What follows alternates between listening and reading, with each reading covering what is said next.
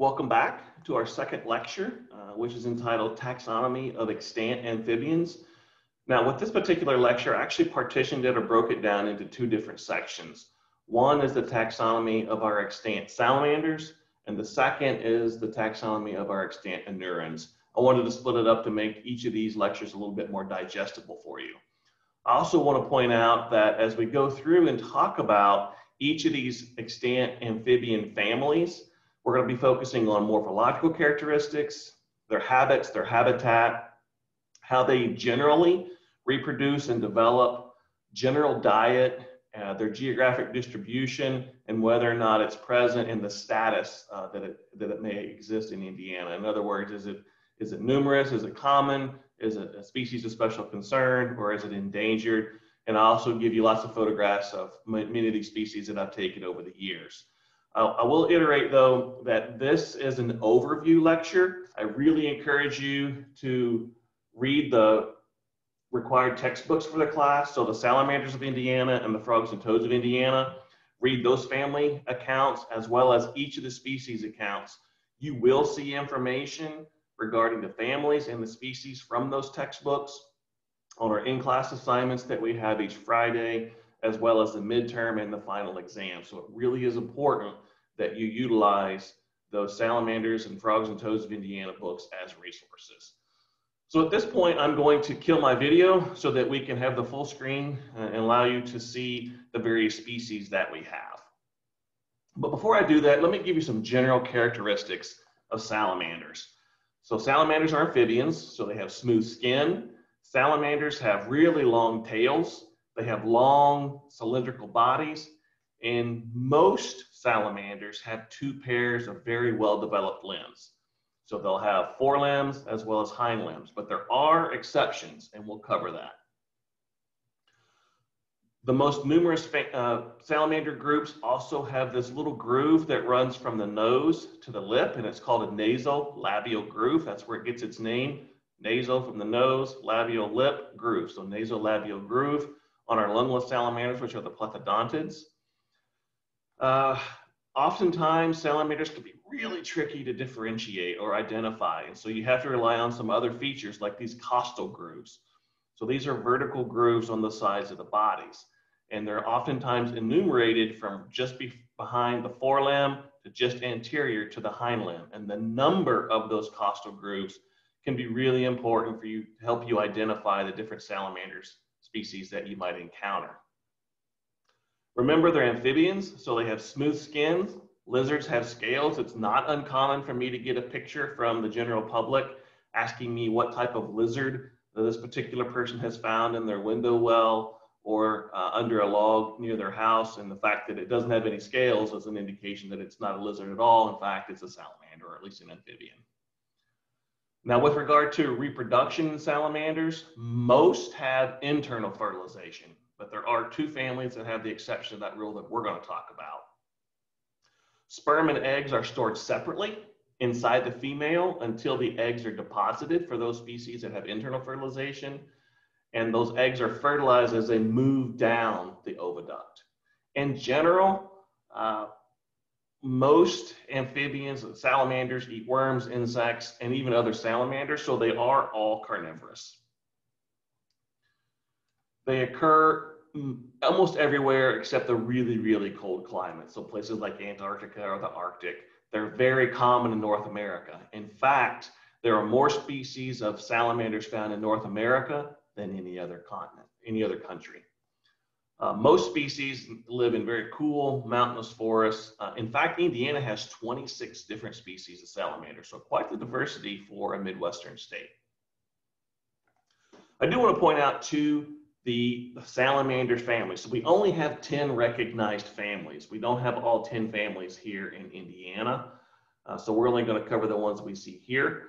There's 60 genera representing 400 species. So it's not a really speciose group, you know, only four, 450 species, depending on which taxonomy you follow. But what I want you to take away from this cladogram are which of these families are really ancient and which of these families we tend to think are more derived. So if you look at the, the ancient families, we have the family Sirenidae, and the family Cryptobranchidae. These are two families that we have in Indiana. These are the most primitive salamander families that we know that exist today. This middle block right here, this is called a polytomy. What this means is we don't know within this grouping whether Proteidae, Amphiumidae, Plethodontidae, or Trichodontidae are how they related to one another. Other than that, they are related, but we don't know which of those are more derived and which of those are more primitive. It's not until we start getting to Salamandridae, Zycontidae, and Ambystomatidae we tend to think that these are the most derived, with the Ambystomatidae being the most derived, Sirenidae being the most primitive. So again, I would, I would ask you to reference back to this cladogram. Uh, you will be asked questions throughout the semester about the, the origin in terms of whether it's a primitive or a derived family. And as you start thinking about the natural history characteristics, it should start making sense to you. Some of these characteristics that we're going to talk about for Sirenidae and Cryptobranchidae, perhaps maybe more like fishes than some of our other tetrapods, which means that's a very primitive characteristics. Whereas some of the behavioral characteristics of the reproductive characteristics of Ambystomatidae are very advanced. And so therefore, that's why they might be thought of as the most derived salamander family. So let's launch in and start talking about some of our, our salamander families. And the first is that most primitive family, which is the family Sirenidae. It's a really small group of salamanders that have eel-like, really long, slender bodies. They have small front limbs. This is the family that lacks, completely lacks hind limbs. Okay, so this is the exception to that rule. A pair of front limbs, no hind limbs. It's really important. It's really different from all other salamander families. In terms of habitat, they're fully aquatic. So this is a pedomorphic salamander. So they have egg, they lay eggs in the water, they have larvae in the water, and the adults remain in water. So these adults are pedomorphic in that they also retain larval characteristics. In this case, a fully aquatic environment, and they have external gills. So those are larval characteristics, so they're pedomorphic. So back to their habitat. They're fully aquatic. They inhabit really shallow water and swamps, ditches, and ponds. In fact, this is me about 15 years ago, and you can see just how deep the water was in which I was capturing these western lesser sirens. They're oftentimes nocturnal in their activities and spend the day under cover objects. You can see all the leaf litter in this particular swamp and they hide underneath that leaf litter during the day and they come out and forage for uh, various invertebrates at night.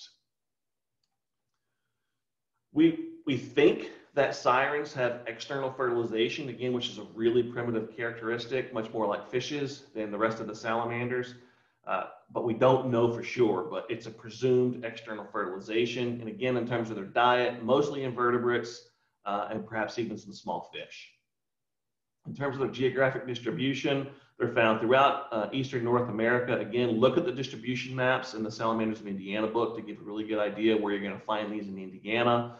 We do have uh, sirens in Indiana they're not really that common. In fact, they're a species of special concern. And now there's talk at some point to even look at them a little more critically. It wouldn't surprise me in the next five years that unfortunately they, they are becoming an endangered species here in Indiana. Their numbers are dwindling. The next species is a species that's very near and dear to my heart. I've actually been working on uh, the hellbender for the last 13 years of my career, and it's found in the family Cryptobranchidae.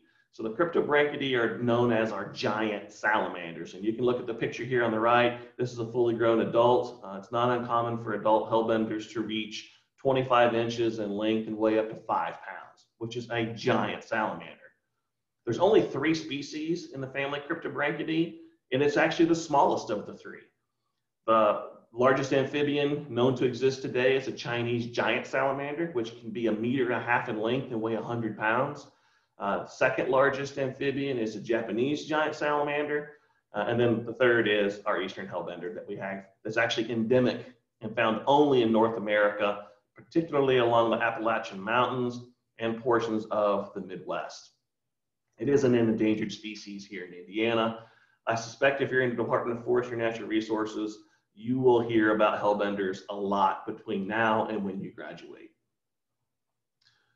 In terms of habitat, they're fully aquatic. So this is another pedomorphic salamander. So the adults live their entire life in water and they have larval characteristics, again, which makes them pedomorphic. So they inhabit these cold, fast moving rivers and streams, where they generally spend most of their time under hide objects like a giant slab of rocks or a rock crevice or a log. They hide out there during the day and emerge only at night to forage on their primary food item, which are crayfish. It's a crayfish specialist.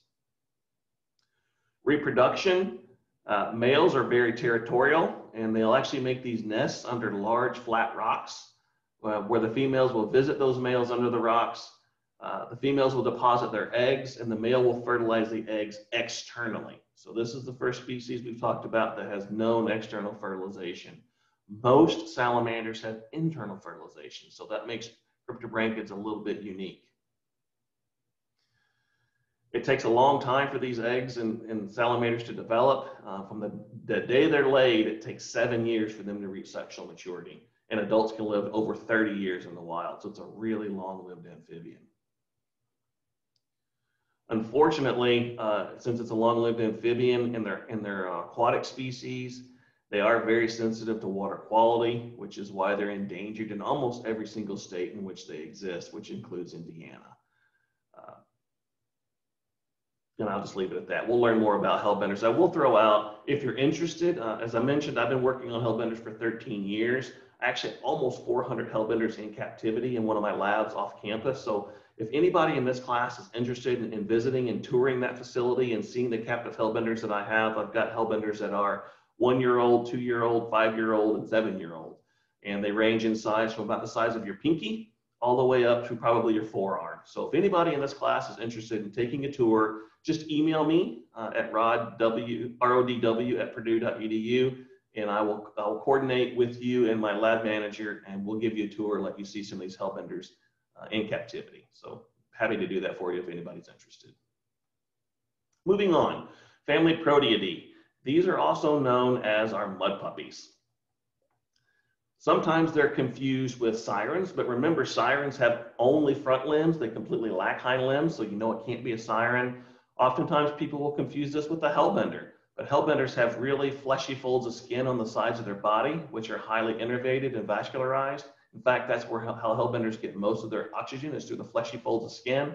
And you can see on this mud puppy, there are no fleshy folds or wrinkly skin. So it can't really be a hellbender and they have these external gills. Hellbenders don't have external gills. So mud puppies are pretty unique in that regard.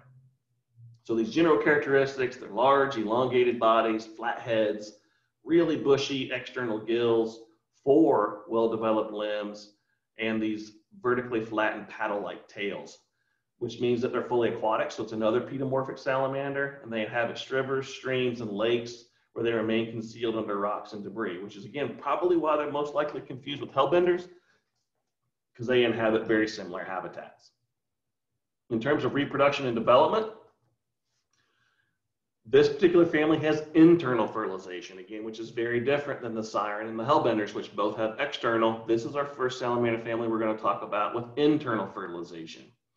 Again, I mentioned they're pedomorphic, so they maintain these larval characteristics throughout their lifetime. Things like that paddle-shaped tail, an aquatic lifestyle, and those bushy gills, which makes them pedomorphic. They're found throughout central and eastern United States, and as well as southern Europe as well. In Indiana, we have uh, a common mud puppy, which is a species of special concern. Again, this is another species that's rapidly declining and I wouldn't be surprised if this one gets on the endangered species list in, in Indiana, at least, in the next decade, unfortunately. Another group of salamanders that are far more common than some of the ones we've just talked about, this is the family Ambystomatidae, which are mole salamanders. These salamanders have stout bodies with sort of thick, robust limbs, thick tails, and a short, blunt head. All have very functional lungs. So these are spend as an adult largely terrestrial, so they breathe atmospheric oxygen, um, but they do lay eggs in water. And here are some tiger salamander eggs. So this is our tiger salamander. This is a clutch of tiger salamander eggs that were found in Tippecanoe County. You can see these small ephemeral ponds where the adults, the males and females, will migrate to these ephemeral ponds during warm, uh, rainy nights in the spring, deposit their eggs. The eggs will hatch into these aquatic salamander larvae and they'll stay in this form for about four to six uh, months, and then they'll metamorphose, leave the aquatic environment, and, and, take on an adult form where they spend the rest of their time under rocks and logs in the upper uh, proportions of a terrestrial setting. But they're called mole salamanders because even as adults, they live underground in small burrows, hence mole salamanders. And as I mentioned earlier, in the summer and winter, adults live underground, and in the spring, they migrate to these ephemeral ponds to reproduce. And when they when they reproduce, they're called aggregate pond breeders, which means they might migrate in the hundreds to these ephemeral ponds. So they congregate in very, very large numbers in these ephemeral ponds and pools where they court with one another and lay their eggs and usually just a few short nights. Um, this is actually a species in which I did my PhD on. So I'm very familiar with, with some of the species of Ambystomatids, particularly the tiger salamander. This is a uh, nightly migration that I took a picture in the day as they were migrating to the breeding pond. You can see large numbers of adult tiger salamanders migrating to the pond. And this figure is to sort of highlight what I just told you. So if you look at the x-axis, we have the date of immigration. And so we have February 15th to March 17th. On the, on the y-axis on the left, we have the number of immigrants, and on the y-axis on the right, we have the temperature and precipitation. The yellow bars are males, the green bars are females, blue line represents precipitation, red line represents uh, the temperature. So what you should be able to deduce from this schematic is that as the spring progresses, we start seeing warmer temperatures on average until early March, and then we start getting these really warm spring rains so we get rains coupled with warm nights, and that's the trigger for migration. So you can see on March 2nd, we had over 80 adult male tiger salamanders start to migrate to the pond. And in each case, each successive day, we still see animals migrating and we have different pulses with each rainfall event and temperature event. You see these little pulse, significant pulse and minor pulse. So a couple of things you're gonna notice is that on average, males outnumber females two to one in these ponds. They're triggered by warm spring rains. And then thirdly, is that it happens over a very brief period of time. So most of this migration and most of this breeding occurs over a four or five day period. Let's move on to the family Plethodontidae, which are lungless salamanders. This represents the largest family of salamanders. In fact, Two thirds of all species of salamanders on the planet belong to this family. All are lungless, whereas we just talked about the Ambystomatidae, they have fully functional lungs, live on land, breathe atmospheric oxygen. The primary mode of respiration with the Plethodontidae are through their moist skin. All plethodontids tend to be very elongated, really thin bodied compared to the really stout, robust bodies we just talked about with the Ambystomatids. All species of um, plethodontids have prominent costal grooves, and in fact, you can see the costal grooves on this Hemidactylium scutatum or the four-toed salamander. You can see those costal grooves here, which again are used for identification, and they have the presence of those nasolabial grooves. So here's the nostril, here's the lip, and there's that small little groove that's running from the nostril to the upper lip, and that's called a nasolabial groove, found only in this family. Now, two thirds of all variation belongs to this family. So in terms of habits and habitat, they're pretty diverse. So you can have plethodontids that are terrestrial, some are partly aquatic, some that are fully aquatic, and in fact, you can even have some that are arboreal. In terms of reproduction and development, they all have internal fertilization and the eggs hatch into miniature adults. Whereas when we, when we showed you the type, of the ambystomatids, where the adults migrate to these breeding ponds, lay eggs, the eggs hatch in the water, they have larval form, and then they metamorphose into adult. That's called indirect development. Whereas with the plethodontids, they have direct development. here we have a dusky salamander female guarding her clutch of eggs. You can actually see the pupil of each of the little embryos that are developing inside this egg. So she lays her eggs in a moist environment, and that metamorphosis actually occurs within the egg. So here's the bot here. Let me see if I find a good one. Here's the body, the long axis of the body. There's the eye of that developing embryo. This big yellow thing is the yolk sac. And so what's happening is this, this particular embryo is developing in this egg. It's getting all of its nutrition from its yolk sac. When that yolk sac is depleted, this particular larvae will um, transform from having external gills to start respiring through the skin and it will bust through this egg capsule and be hatched out as a miniature adult. Again, direct development relative to the indirect development that we just talked about with the Ambystomatidae. Finishing up here, talking about the family Salamandridae. Um, these are newts. So the skin is thick and granular rather than smooth that we just talked about with the plethodontids. Now this granular skin is due to the presence of numerous glands that secrete toxins, and we'll talk about those toxins here in a minute. Many species of newts have very bright coloration, and that's called aposematic coloration, and we'll talk more about that in, in some subsequent lectures.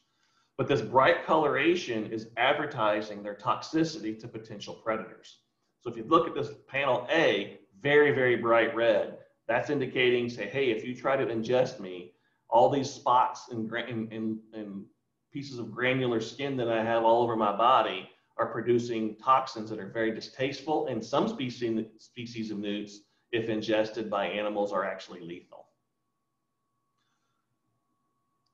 With regard to their habits and habitat, they live in forest settings where they take shelter under logs, leaves, rocks, other types of objects uh, but it doesn't necessarily have to be as moist uh, as it does to some of the other species of salamanders because of that more granular skin.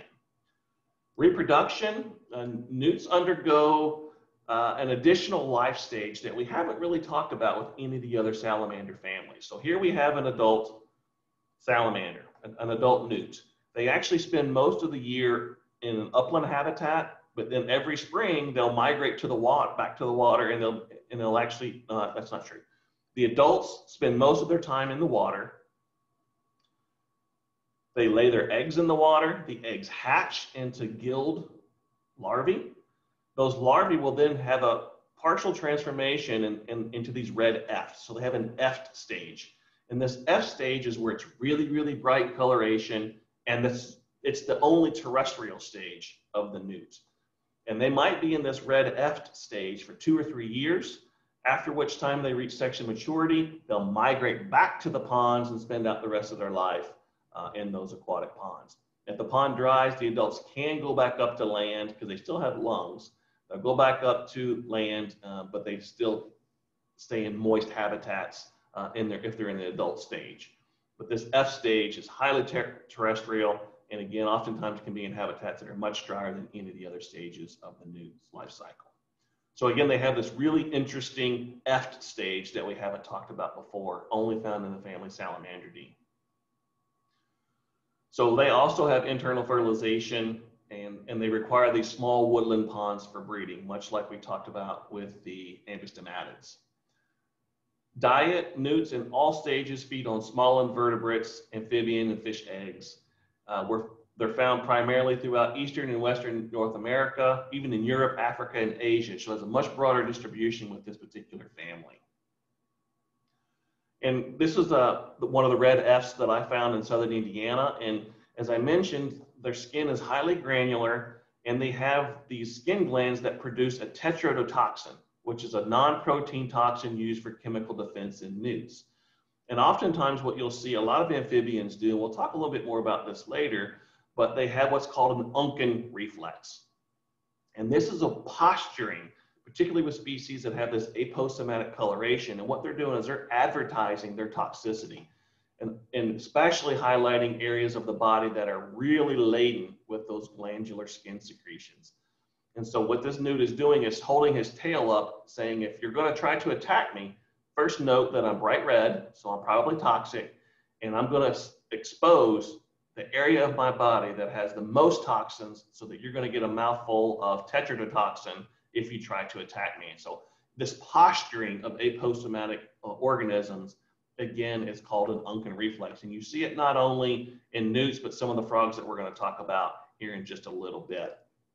So that concludes the salamander portion of the taxonomy of extant amphibians. So I'm going to sign off now and then give you a chance to catch your breath, get a break, read through your Salamanders of Indiana book, uh, and then we'll finish up with the taxonomy of extant amphibians and focus only on frogs and toads. So we'll see you here in a bit.